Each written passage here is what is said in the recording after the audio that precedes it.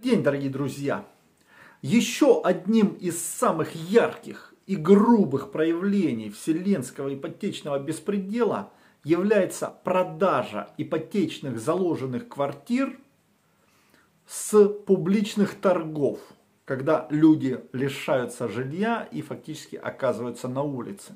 И зачастую такие торги проводятся с грубыми нарушениями закона, по заниженной стоимости, кулуарно, без привлечения заинтересованных лиц, без надлежащего уведомления собственников жилья, которые его приобрели. Зачастую люди узнают о том, что их квартира продана через какое-то время. И соответствующим образом, дорогие друзья, это все, конечно же, э, очень сильно, очень сильно бьет по населению и так далее. Вот мы сегодня поговорим о том, какие нарушения наиболее часто встречаются и как можно оспорить публичные торги в судебном порядке по реализации имущества. Соответствующим образом оспорить публичные торги по реализации ипотечных квартир может любое заинтересованное лицо. И это могут сделать участники торгов, лица, которые не имели возможности участвовать в торгах из-за нарушения правил их проведения – стороны исполнительного производства. То есть это непосредственно э, должник, у которого забрали квартиру. Может э, судебный пристав-исполнитель, иные лица, которые соответствующим образом э, обосновали э, оспаривание торгов. Обратите внимание, что сам факт, сам факт э, вот этих всех нарушений, да, сам по себе, э, конечно же, он э, не может служить основанием. Здесь нужно устанавливать нарушение интересов конкретных лиц при проведении. Как об этом говорит Верховный суд и как об этом говорит Высший арбитражный суд. Сам факт нарушения порядка проведения торгов, он недостаточен для признания их недействительными по иску лица, которое предъявило данные требования. Такое лицо может быть истцом только если докажет, что вследствие допущенных нарушений при проведении торгов именно его права или интересы нарушены. Поэтому при подготовке исковых заявлений необходимо это указывать. Поэтому я всегда рекомендую обращаться только к профессионалам. Можете обратиться э, ко мне, к нам обратиться, и мы вам поможем составить исковое заявление, если надо, составим и апелляцию, и кассацию и так далее. Так вот, если лицо докажет, что именно его права или интересы нарушены, и их можно восстановить с помощью применения последствий недействительности договора, который заключен на торгах. То есть у нас оспариваются как торги, так и заключенный договор купли-продажи этой недвижимости там, э, неким третьим лицам. При этом лицо, которое задолжено, задол, задолжало должнику дебитор, не может оспорить торги, на которых была продана дебиторская задолженность. Так вот, дорогие друзья, должник и кредитор в соответствии с позициями Верховного, Верховного суда и Высшего арбитражного суда признаются заинтересованными лицами, которые могут оспорить проведение публичных торгов – если организатор торгов известил их об их проведении с нарушениями, которые уменьшили количество потенциальных покупателей и, следовательно, повлияли на цену продажи имущества. А у нас сплошь и рядом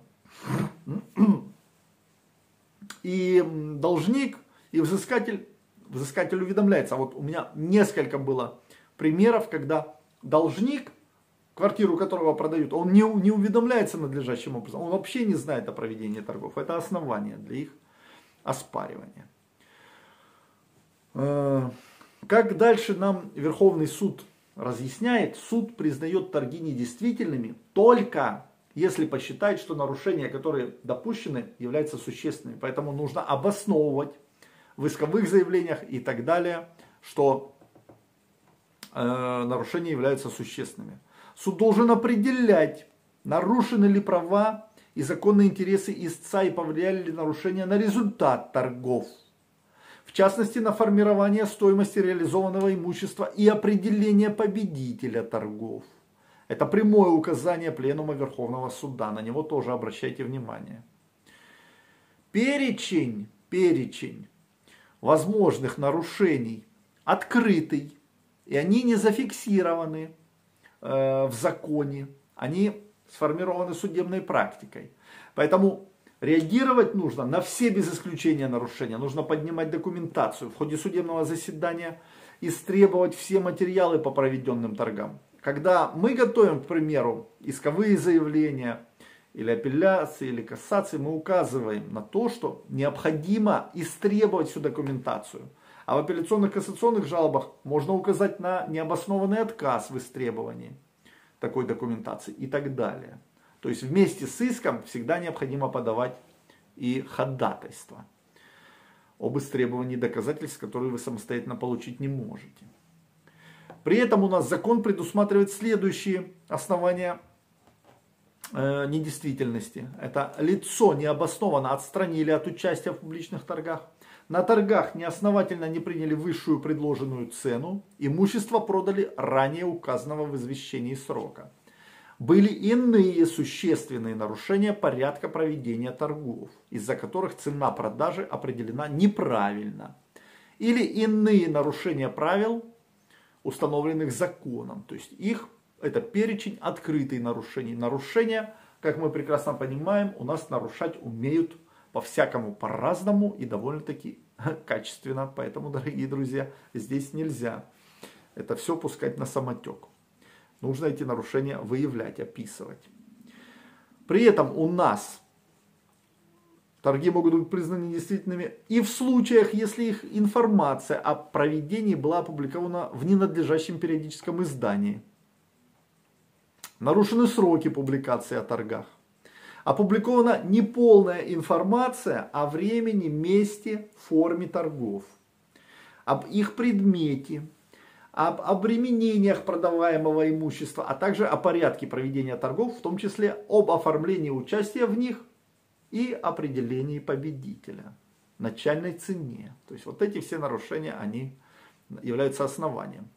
При этом, если лицо необоснованно не допустили к участию в торгах, тоже будет основанием для их отмены. Если торги продолжились, несмотря на то, что приступ, э, пристав сообщил о прекращении обращения взыскания на имущество, а они продолжились. Или имущество передано на торги незаконно, например, передано имущество, на которое нельзя обратить взыскание.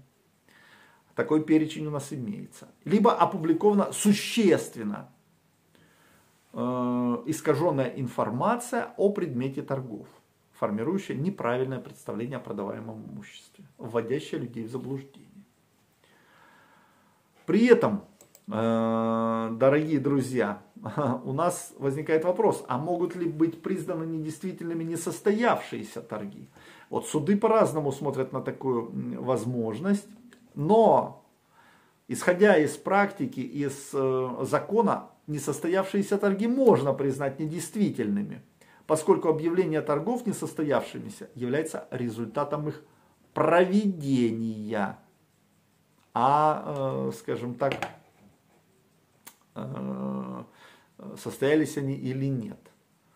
То есть они могли проводиться, но не состоялись по тем или иным причинам. Вот это тоже можно признать недействительным.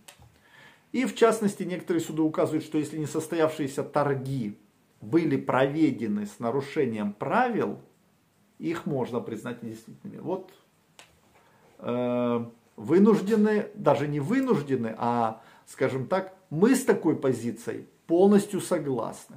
Потому что независимо от результата, ну, не состоялись они или состоялись, но они же были проведены.